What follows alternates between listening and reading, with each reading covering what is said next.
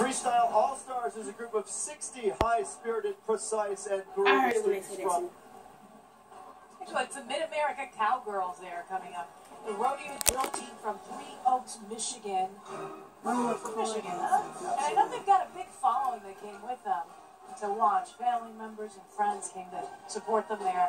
Uh, they entertain audiences from across the Midwest. They're riding, if you're wondering, quarter horses, uh, Paints, Arabians, and Tennessee Walker, all in Western style. And they Uh, won the, uh, there's this award-winning group there. They won the Best Mounted Unit Award the Kentucky Derby Festival Parade. well, congratulations.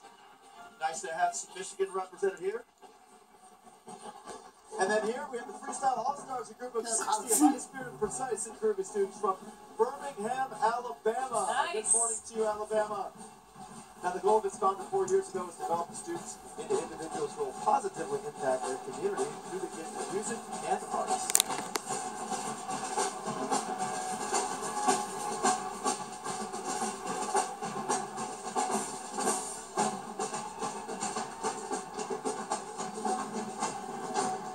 We'd